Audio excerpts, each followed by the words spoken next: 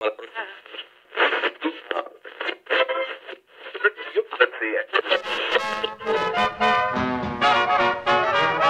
a garden, what a garden. Only happy faces bloom there, and there's never any room there for a worry or a gloom.